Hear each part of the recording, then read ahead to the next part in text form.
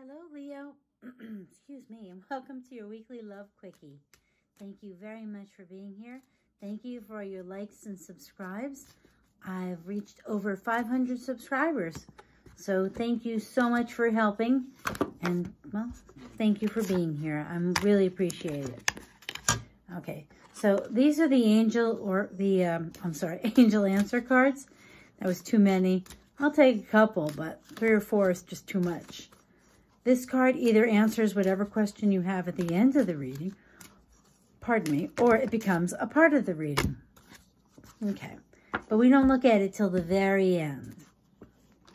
Wow, okay. So I did shuffle these cards prior to beginning the uh, video.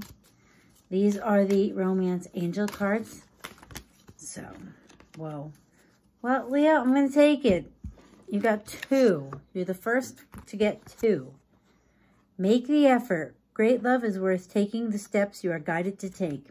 And I always point out he's a little kid, and look at he's climbing over this big old wall just to give her a big old smooch on her cheek.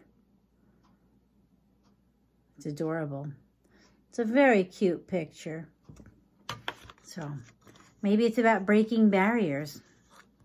Oh, I put this backwards. Sorry. and I think in today's day and age, there's so much to be said for, you know, I think that so many people are doing things differently. It's the age of Aquarius. It's a whole new outlook, a new way of doing a lot of things. Oh, I love this. Playfulness. To recapture romance, allow your inner youthful spirit of fun to shine. And isn't it funny? We have play like a child, and then we have make the effort being shown by children. I want to say that this is almost like saying, just be yourself. Don't be guarded. Don't worry about what you do, what you say, how you run, whatever it is. Just be yourself and enjoy the moment with whoever you're with, you know, because there's something here. And I have to say that, you know, they say, they always talk about, and there is a card that says attraction. It talks about enjoying the moment. Because when you enjoy the moment, Leo, you know, others enjoy watching you enjoy the moment. I know it sounds a little weird, but it makes sense to me in my head.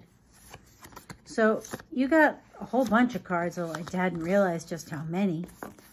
This is the Dark Mansion Tarot. You got the Emperor.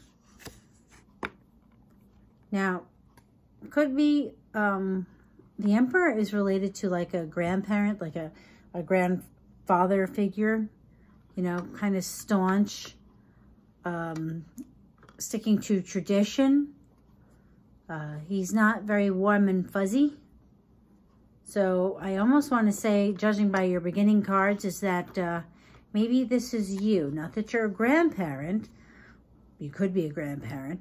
But that maybe this is talking about you have traditionally done what you are supposed to. Whatever your generation says. Like if you were my generation, you know, or the generation before, you're you're very uh, whatever the normal was for where you grew up. I'm trying not to be sexist or come off weird, although it came off weird anyway. Yay, sorry. The Six of Wands. The Six of Wands in the traditional deck is the victor. You know, he is the, the He's been to war. He's back on his horse and he's got a celebratory wreath he's carrying or he has on his sword. But it's a celebration. And in this one, it's not just a celebration. It's a marriage celebration. Hmm. So I almost want to say that you you are traditionalist or you are traditional in some way. But that this is calling, maybe with all the lockdown stuff, it's made you rather, I don't know, uninterested or it's been very hard to do a lot of fun things because so many things are closed. Justice could mean that one of you are involved in the law, whether you are a police officer, a lawyer, a court clerk, whatever it is could also have to do with a Libra because of the scales, but they are balanced. could mean also that you are dealing with something in the legal system because of the sword here and the balance. It's about making just decisions.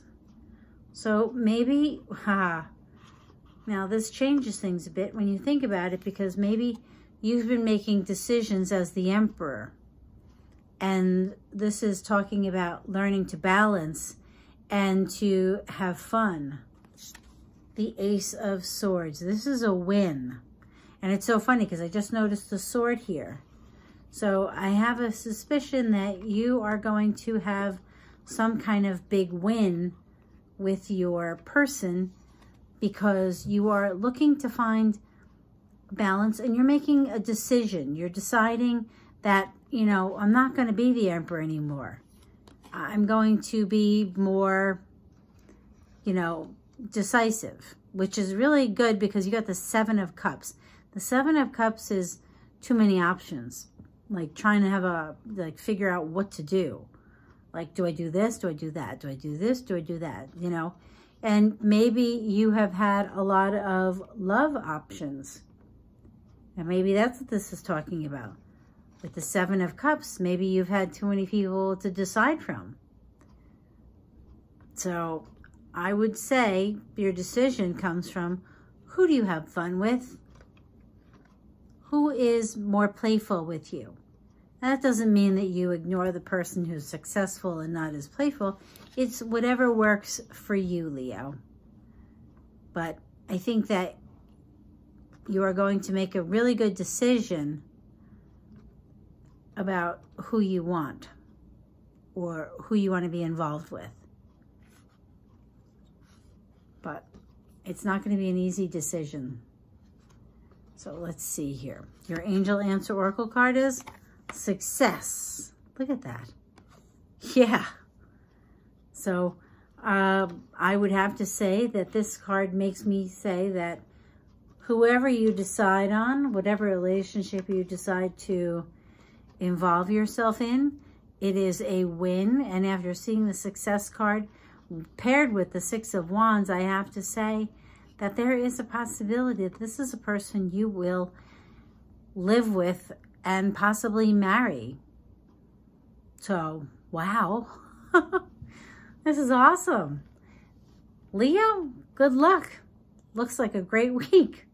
Thank you so much for being here. Please like, subscribe, and hit the bell notification so you know when I release new videos. Thanks, Leo. Bye.